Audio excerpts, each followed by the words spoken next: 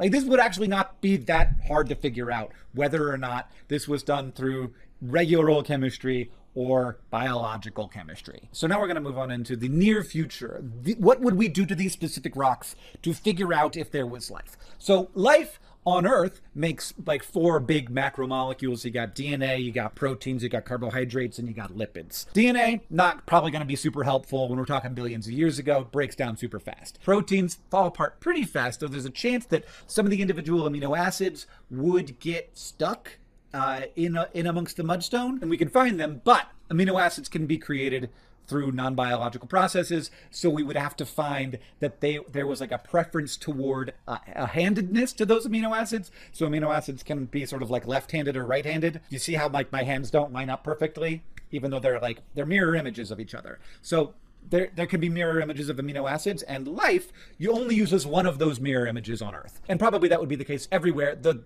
it wouldn't be the same mirror that would be used. They would either choose left hand or right hand but they wouldn't do both